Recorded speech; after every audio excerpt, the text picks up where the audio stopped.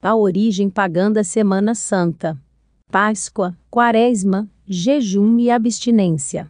Na língua portuguesa, a palavra feira, anexa no dia da semana, tem sua origem na Idade Média, devido à liturgia católico-romana, a qual se chamava féria.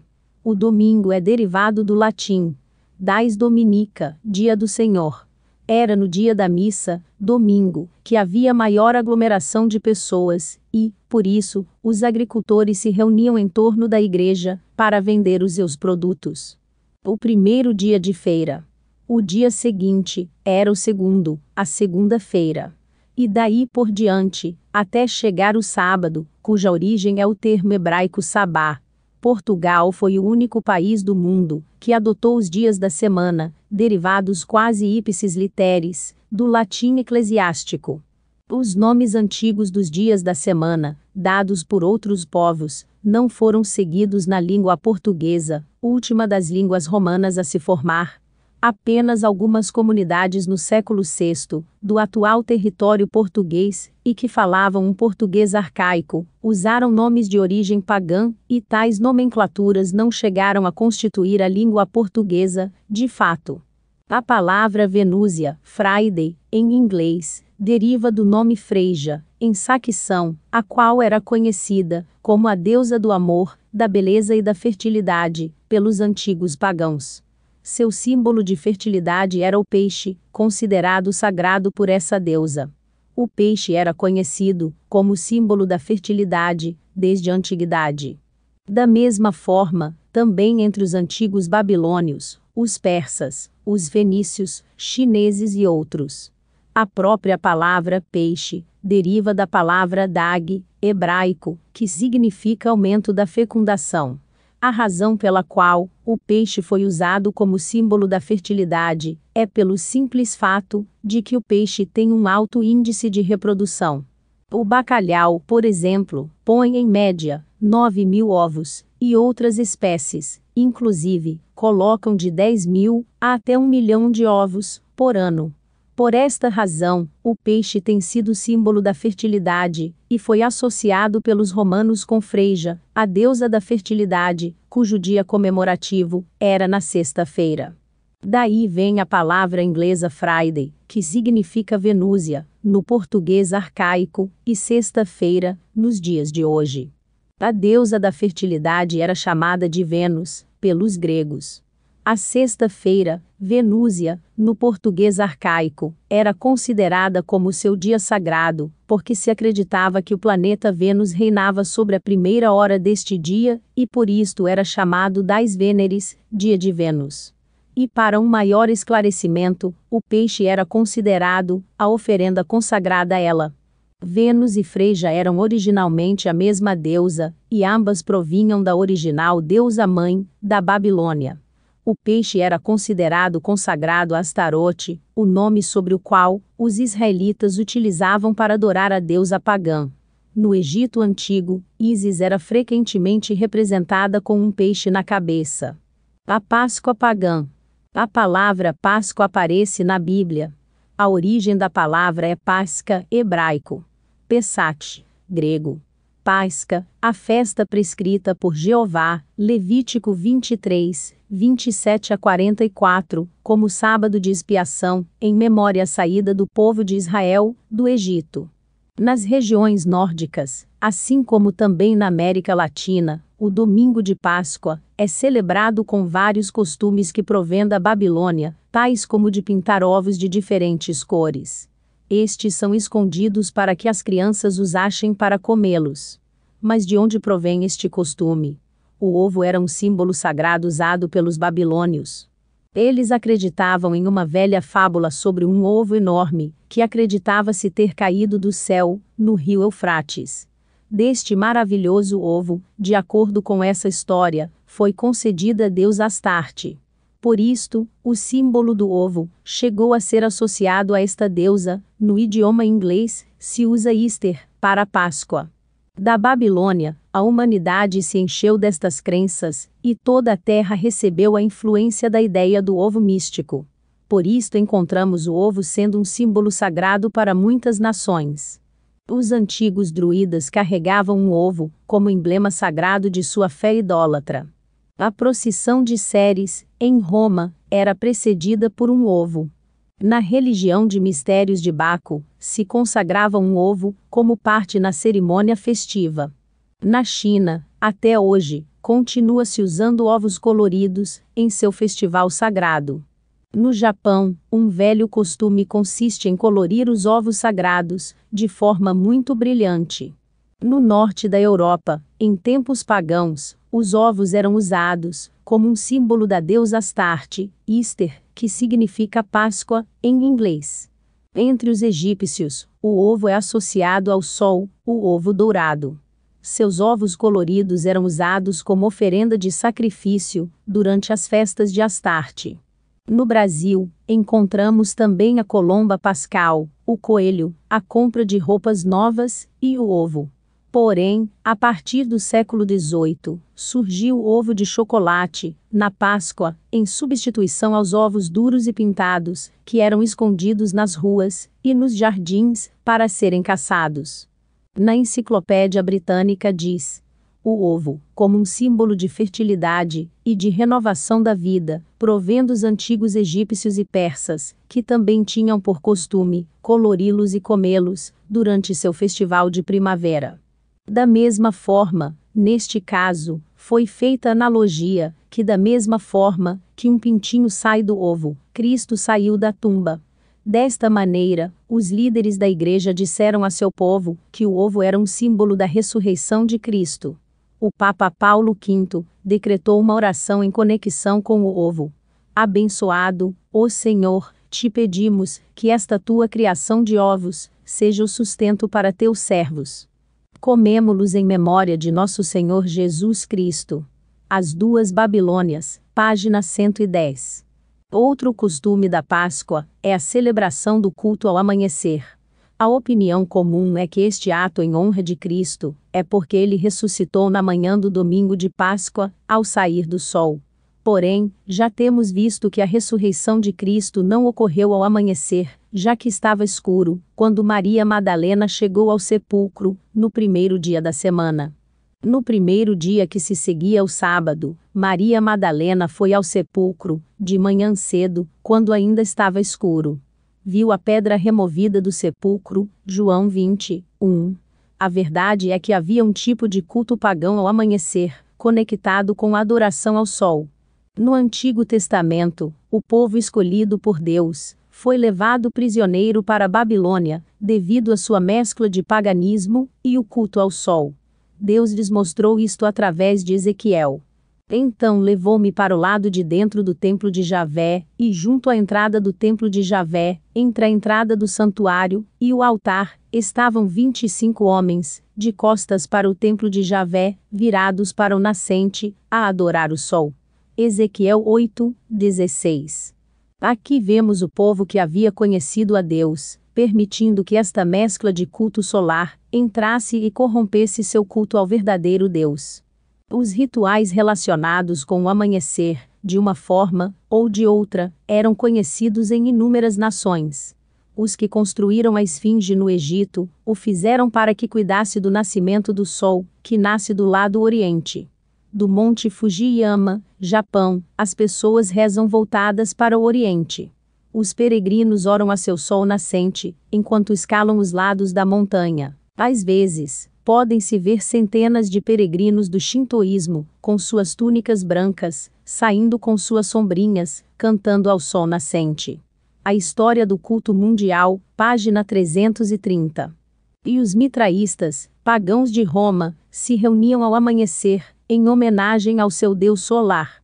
Voltando ao capítulo 8, versículo 17, de Ezequiel, quando o profeta viu 25 homens olhando para o oriente, ao amanhecer, não se importavam muito que seu costume estivesse misturado com outro culto.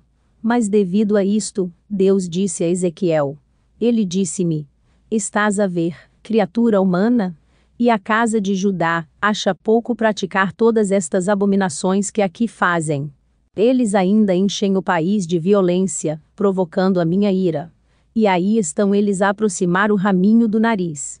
Este ritual de colocar algo mal cheiroso no nariz das pessoas era também relacionado com o amanhecer do sol, no Oriente. Este era um ritual idólatra de colocar um ramo no nariz, ao amanhecer, enquanto cantavam hinos ao sol nascente. Existe algum indicativo de que estes atos foram conduzidos durante a primavera? Sim, existe. Na verdade, o mesmo nome de Easter, Páscoa em inglês, vem da deusa da primavera. Desta palavra saxônica, temos a palavra leste, que é o lugar onde nasce o sol. Em Ezequiel 8, 14, lemos. Depois levou-me até a entrada da porta do templo de Javé, que dá para o norte, onde estavam mulheres sentadas, a chorar pelo deus Tamuz. E logo nos versículos seguintes, Ezequiel viu os ritos ao sol, de modo que inclusive as pessoas que conheciam a Deus estavam misturadas com a religião da Babilônia, lamentando com Estar, a mãe, o deus Tamuz morto, seu filho. Isto fazia parte do festival de primavera, o renascimento da nova vida da vegetação, etc., representando assim a vinda do deus Tamuz desde o fundo da terra. E juntamente conectando com estas festividades primaveris, estavam os ritos nos quais os homens olhavam para o leste, o sol nascente. A Enciclopédia Britânica diz: o cristianismo incorporou em sua celebração da grande festa cristã muitos dos rituais e costumes pagãos do festival de primavera idólatra. A evidência é clara. O presente costume da Semana Santa não é cristão, seus costumes são simplesmente uma mescla de paganismo com cristandade. Alguns acreditam que podemos tomar estes costumes e usá-los para honrar a Cristo. Apesar de tudo isso, a maioria dos cristãos se lembra de Cristo durante esta época. Embora os pagãos adorassem o sol, voltados para o leste, não podem os cultos da Páscoa, ao amanhecer, ser em homenagem à ressurreição de Cristo, Acaso não ressuscitou realmente o Senhor no domingo pela manhã? E apesar do ovo ser usado pelos pagãos, não podemos continuar com seu uso, para simbolizar a grande rocha redonda que estava na frente do túmulo. Em outras palavras, muitos acreditam que podemos pegar todas estas ideias e crenças pagãs, e ao invés de colocá-las em prática com os deuses falsos, elas devem ser usadas em forma de glorificação a Cristo. À primeira vista, parece ser um bom raciocínio, mas esta ideia de adicionar costumes pagãos ao culto cristão está absolutamente condenada pela Bíblia. Aqui está o que nela se menciona. Presta atenção a ti mesmo. Não te deixes seduzir, não imites essas nações, depois de elas terem sido eliminadas diante de ti. Toma cuidado em não procurar os seus deuses, dizendo: como é que estas nações adoravam os seus deuses? Vou fazer a mesma coisa. Não procedas dessa maneira para com Javé teu Deus, porque elas faziam aos seus deuses tudo o que é abominação para Javé, tudo o que ele detesta. Essas nações chegaram até a queimar os próprios filhos e filhas, aos seus deuses. Cuidai de pôr em prática tudo o que vos ordeno, sem nada acrescentar ou tirar Deuteronômio 12, 30, 31 e 13, 1. Está claro então, nosso Deus não quer que acrescentemos, nem que retiremos nada de seu culto, além daquilo que ele mesmo estabeleceu. Ele não quer que usemos costumes e rituais que os pagãos usaram, mesmo que argumentemos que isso seja em sua honra. A Quaresma. Tendo adotado o festival pagão da primavera de Ishtar, ou Páscoa, na Igreja, naturalmente foi adotado também o antigo costume do jejum, que precede o festival da primavera. Este período de 40 dias antes da Páscoa é conhecido como Quaresma.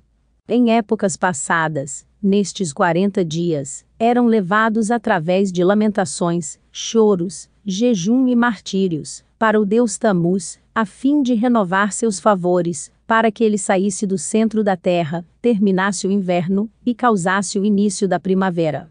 De acordo com as antigas lendas, o deus Tammuz tinha 40 anos, quando foi morto por um porco selvagem.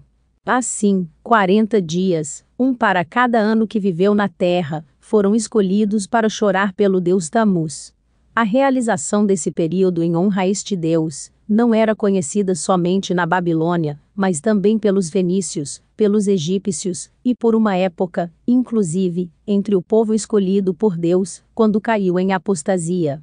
No dia 5 do sexto mês do ano 6, estava eu sentado em casa, com os anciãos de Judá sentados na minha presença, quando sobre mim pousou a mão do Senhor Javé.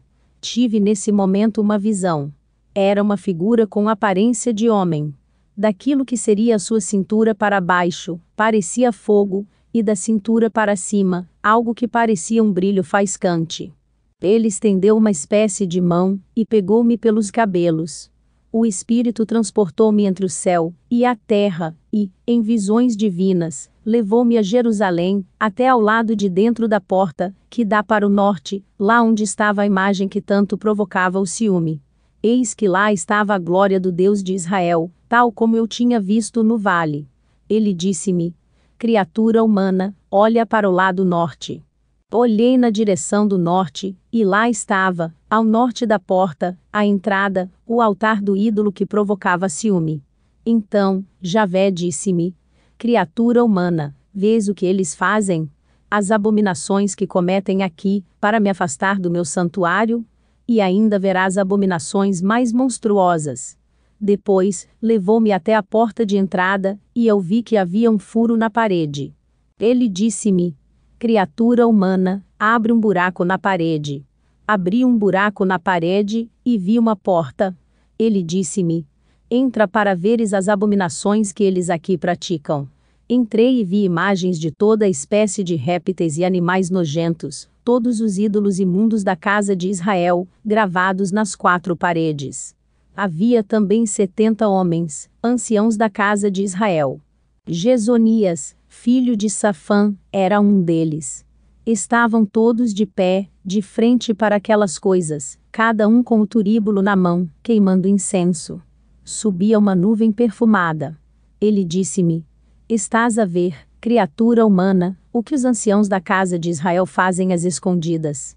Cada um tem um oratório cheio de imagens, pois dizem: Javé não nos vê, ele já abandonou o país. Então, ele falou mais uma vez comigo: Irás vê-los fazer abominações ainda piores.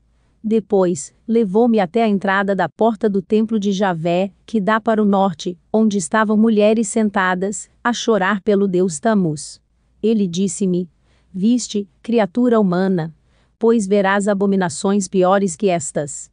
Então levou-me para o lado de dentro do templo de Javé, e junto à entrada do templo de Javé, entre a entrada do santuário e o altar, estavam vinte e cinco homens, de costas para o templo de Javé, virados para o nascente, a adorar o sol.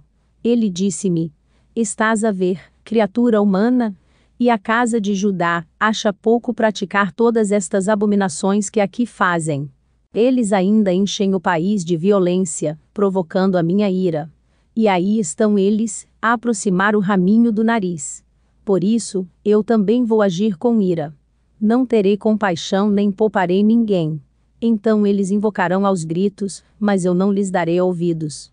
Ezequiel, capítulo 8 40 dias de abstinência, ou quaresma, era conhecido e praticado pelos adoradores do demônio, no Kurdistão, pelos que herdaram o costume da primavera, de seus mestres, os babilônios. As duas Babilônias, página 104. Este costume era conhecido também entre os pagãos mexicanos, os quais costumavam fazer jejum de 40 dias, em homenagem ao sol. Indagações Mexicanas, página 404, volume 1, Humboldt. Entre os pagãos, disse Slope, esta quaresma parece ter sido indispensável antes do grande festival anual, em memória da morte e ressurreição do deus Tammuz. As duas Babilônias, página 105. Quando o paganismo e o cristianismo foram mesclados, pouco a pouco, a quaresma pagã foi unida à igreja que a praticava. Era alegado que isso servia para honrar a Cristo, e não aos deuses pagãos. Durante o século VII, o Papa instituiu oficialmente a Quaresma, chamando-a de festa sagrada e sacramento, tornando-a oficial ao povo, instituindo o ato de não comer carne, durante este período. Naturalmente, as pessoas que não entendem o mistério contido em tudo isto pensam que o período da Quaresma e os dias de abstenção são de origem cristã. A verdade é que a Bíblia e a história antiga ensinam o contrário.